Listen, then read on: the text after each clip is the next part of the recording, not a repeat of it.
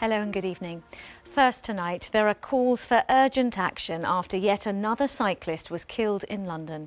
The woman, who's not yet been identified, was involved in a collision with a lorry on a cycle superhighway in East London during this morning's rush hour.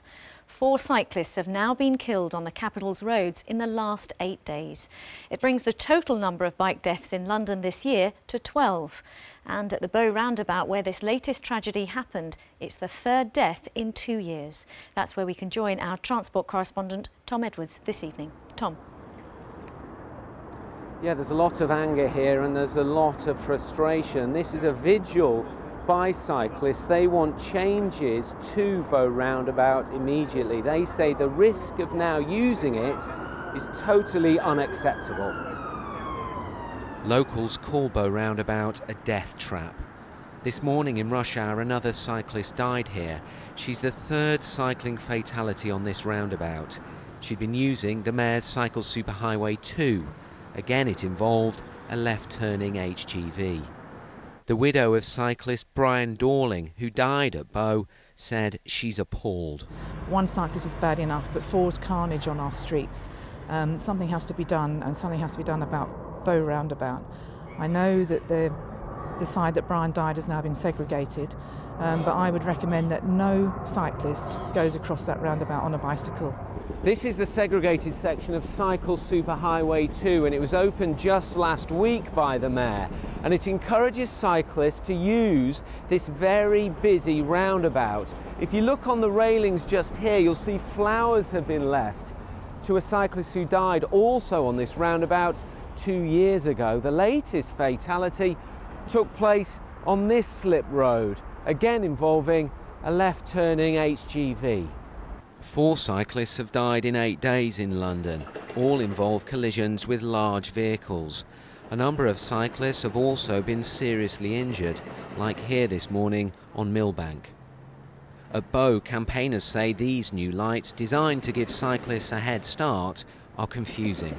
We've expressed our concerns about the what's called the new layout, the early start. It doesn't give complete protection for cyclists. That's obvious. Uh, it needs to be rethought and proper protection being put in for cyclists and for pedestrians. Record numbers are cycling in London, but safety remains a concern. Transport for London says it's investing millions in segregated junctions and routes, and cycling is safe. But in Bow, many cyclists avoid TfL's improvements and prefer the flyover. Raza Alipur lives nearby.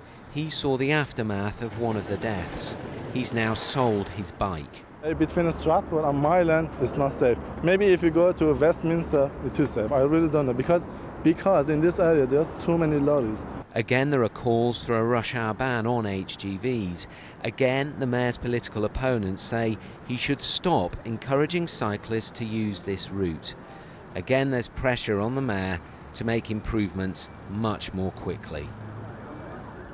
And Tom, this route that you referred to, um, you know, one of the mayor's flagship cycling superhighways, which a coroner last month described as an accident waiting to happen.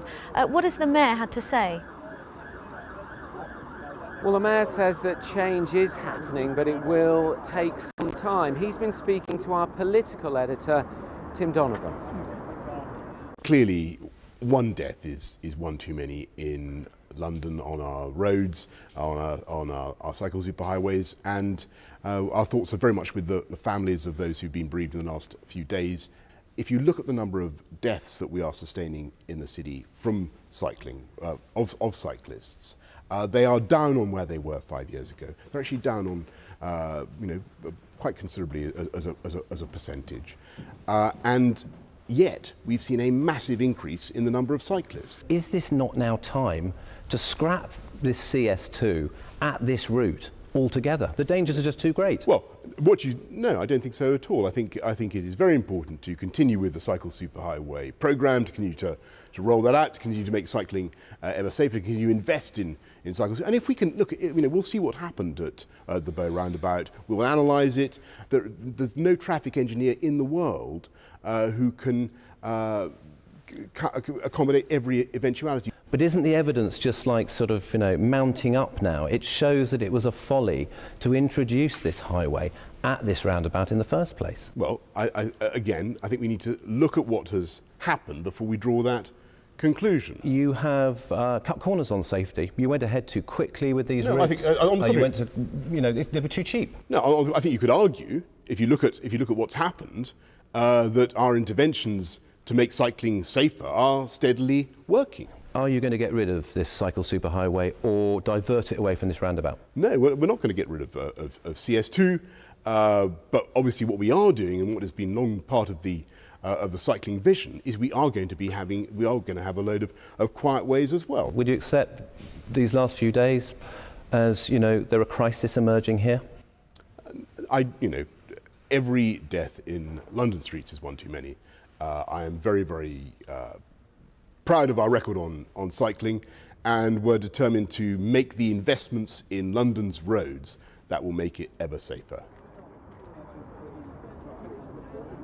Now let's speak to the cycling blogger and campaigner Mark Ames. Mark, what do you make of what's happened over the last week? Four deaths in eight days. It's been absolute carnage on London's roads, but this is not a unique problem. In fact, 80 cyclists uh, have died since Boris came to power, most of them under the wheels of heavy goods vehicles. We know what the problems are with lorries, we know what the problems are with specific killer junctions, and nothing's being done. What is the answer then? We need proper space for cycling on main roads, we need separated Dutch style cycle lanes, and we need Boris and his cycling commissioner and Transport for London to really get on with it. To be fair, the Commissioner and the Mayor says they are investing in that kind of infrastructure. Is it the pace of change that's the issue? Absolutely. Four people have died in London this week. Many more have been seriously injured. The change just isn't coming fast enough. That's why people like the London Cycling Campaign, like me, like all these hundreds of people, are here and they're protesting. People are really, really really angry.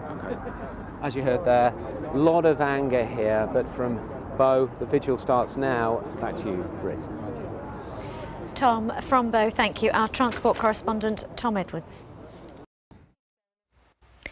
Now, we heard earlier about concerns over cycling safety in the capital. Well, today it's been revealed that one person a day has been killed or seriously injured in incidents involving London buses in the past five years. Now, the Conservatives on the London Assembly want Transport for London to publish detailed information on the worst performing bus routes and accident hotspots.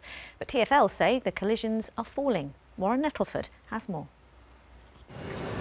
It's the country's busiest shopping street, and Oxford Street is also one of the country's busiest bus routes.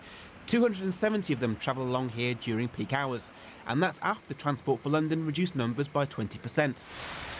Tom Kearney was on Oxford Street when he was struck by a bus, and he suffered serious injuries. The impact burst both my lungs, cracked my head open, and threw me 20 feet down the street. In the last five years, more than 1,800 people have been killed or seriously injured by buses in London. In the last financial year, there were 359 incidents. In 2009, 441.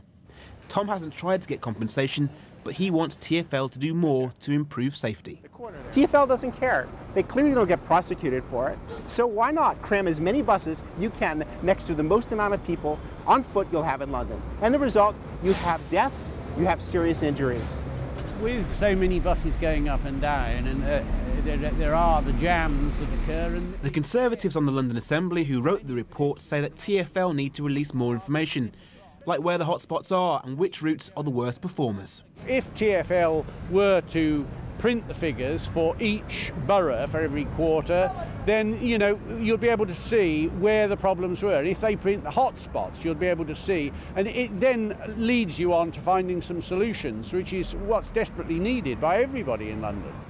TfL point out, though, that fatalities have fallen by 60% since 2008. We have to keep them in context and bear in mind that you know, the London bus network is a very large bus network, one of the largest in the world. Over six million people travel on it every day, uh, and the figure's actually very low.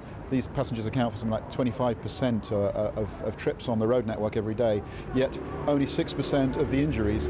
TfL say they'll release more detailed information on bus safety in April next year. Warren Nettleford, BBC London News. Thank you very much.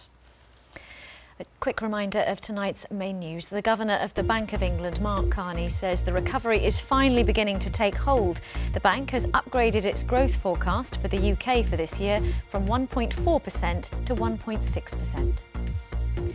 And there are calls tonight for urgent action after another cyclist was killed on London's roads. It's the fourth in eight days. That's it. Thanks for joining us. Plenty more on our website, and we'll be back 10. Until then, whatever you're doing, do have a lovely evening. Bye bye.